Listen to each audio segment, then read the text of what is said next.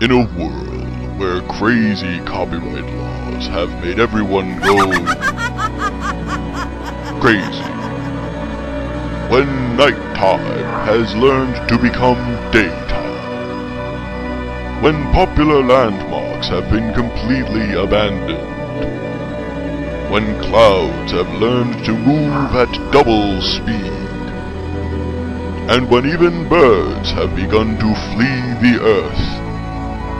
Brian Brushwood and Tom Merritt are on a quest to save the world. Their quest's name, Framerate.